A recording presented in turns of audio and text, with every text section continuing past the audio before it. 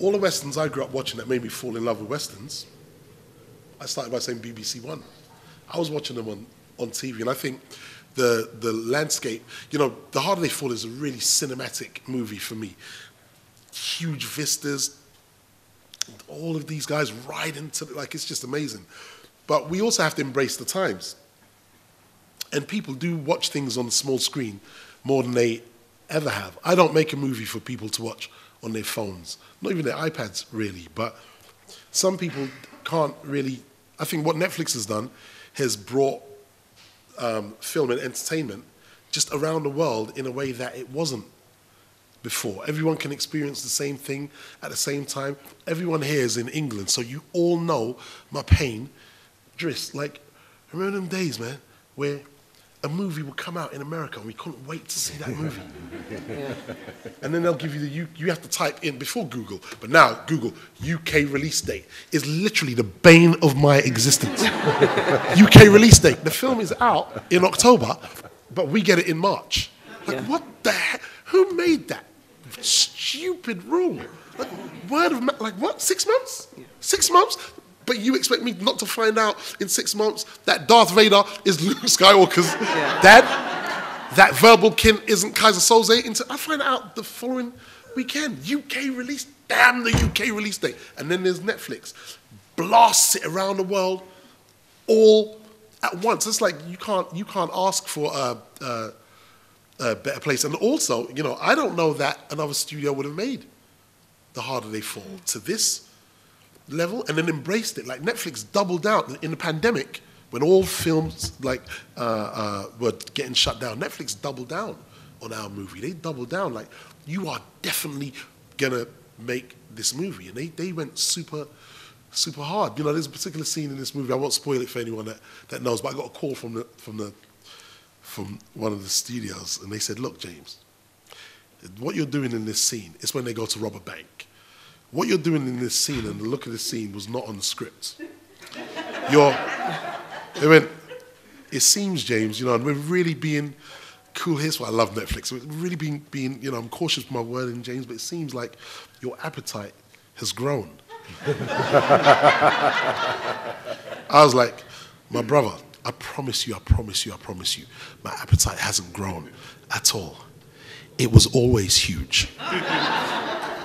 and I need that scene in the movie to blast. So I think like Netflix was just the perfect home. And what made us um, uh, go there, you know, I wanted originally to film in the in the in the theaters, and then uh, JL and Jay Z they do this thing where I'll get a text message from from Jay. Because at first I was like theaters, theaters, and you know me and Idris was, was always talking about that. And I got a text message from Jay like the text message was like 6.30 because he wakes up super early, that dude. And he went, come to my house for 8.30. JL's going to be there. That sounds like an ambush to me. I went around the house and the seated, there's three seats. And JL was sitting over there. Jay was sitting there, his seat was there, and there was an empty seat. Like right there. It was like, I, I was expecting to see, who's the presenter of The Weakest Link? Is that lady's name again? Anne Robinson. I was expecting to see Anne Robinson. I was like, okay, this looks like an ambush. This looks, this looks like I sat in that chair. like Wesley Snipes in the, in the, in the Michael Jackson's Bad video. like, like, so what's up? and JL and Jay looked at me and was like, you know, basically, we're going to, we're going to Netflix. Huh? Netflix? And then they, you could probably speak to that, that like, that particular, that particular, that particular ambush, and, and uh, but they made, you know, they made perfect sense, and I got to see why it was the perfect home, as we were filming. Then the lockdown, then the pandemic, and then just embracing like us being here now and us beaming all around, all around the world. Like Netflix was the was the future. Was the, and, and the reason it was important for us to do it at Netflix is um, the goal. If we're going to tell a story like this with with this cast the goal is to have as many people around the world to have access to it. And sometimes when you do a theatrical release, um, there's these built-in biases, like no one wants to see an all-black cast. We want to cut through all. I know for a fact that's not true. Yeah. But there's still um, kind of in, in certain territories around the world, they will tell um, studios, this movie's not for us.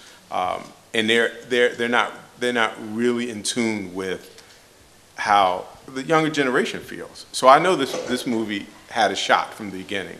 So what Netflix allows is, around the world, everyone has access to it, and we will have uh, as many people as possible seeing the movie, and that, and that was the goal. So that's why Net, Netflix was the right place for that. Yeah.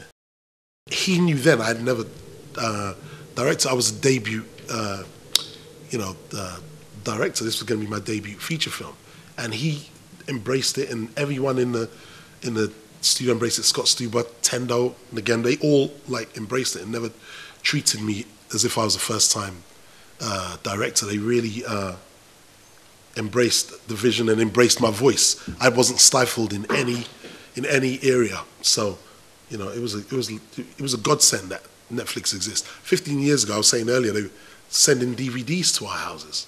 Who knew that they'll become this behemoth of a of a you know of a of a studio?